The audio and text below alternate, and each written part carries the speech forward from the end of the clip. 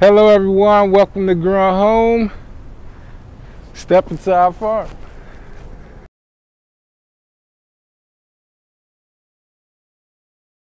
So right here is our multiple purpose space.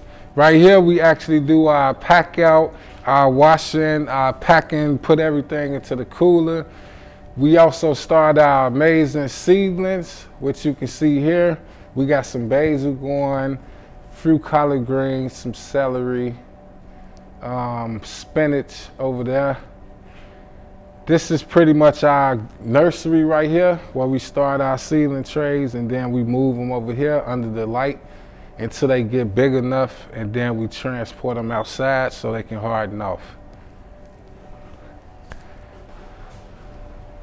Right here, right now it's still November. We still got some winter squash up here. Right now we got some delicata squash. We also have some acorn squash. And one of my favorite is the butternut squash.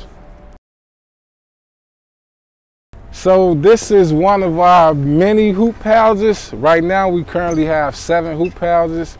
And the hoop houses is basically used to extend the season so we're able to have food longer during the year. So right now, if you look into our hoop houses, everything is still growing. This actually November and we still growing.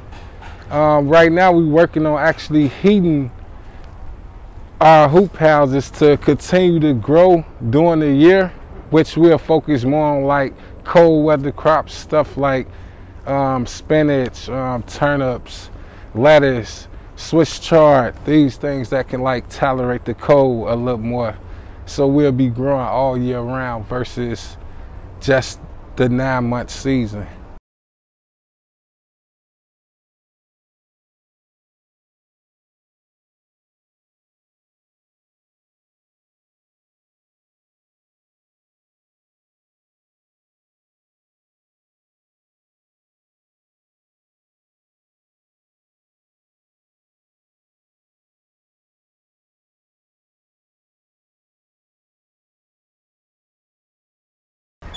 So this right here is Hoop House 3. This is the example of how the row cover be when you put the row cover in to uh, protect the crops.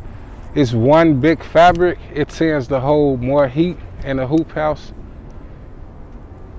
So, oh, wow. so what crops are under here?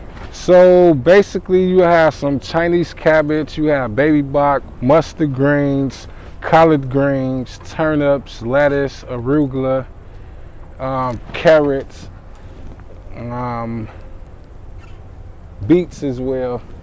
So we, we, we, really much we pretty much have a, a, nice variety of crops still going right now. Some was planted months ago and you plan for it so you can have it in December or if you wanted some in January, you would have to put it in earlier because it starts from seed in the dirt. So that's pretty much the setup.